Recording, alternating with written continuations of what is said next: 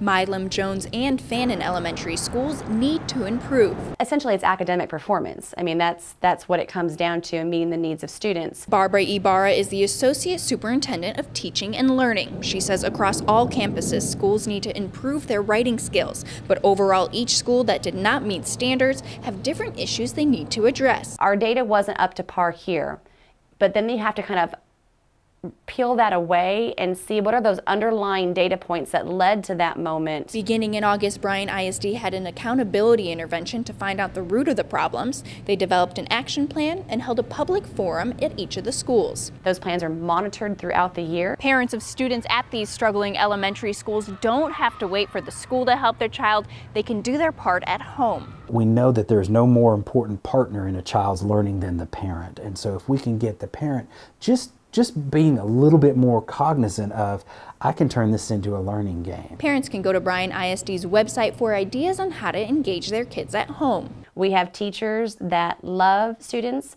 and more than just love them, have a passion and a desire for them to be educated and to excel. Bryan ISD will continue to watch their school's progress throughout the year and they hope parents support them along the way. In Bryan, Alexandra Bush, KAGS HD News.